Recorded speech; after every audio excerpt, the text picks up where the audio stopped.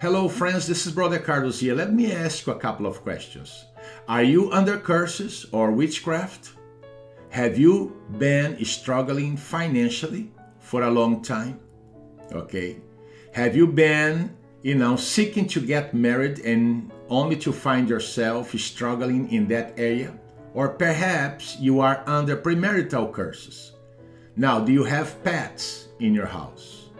Dogs, cats, etc. If you answered yes to any of these questions, okay, I recommend that you put your hands on these ebooks today.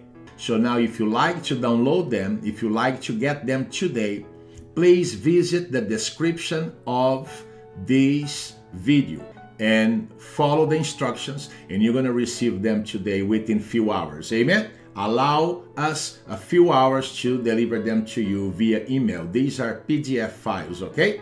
God bless you now and have a good day. Bye.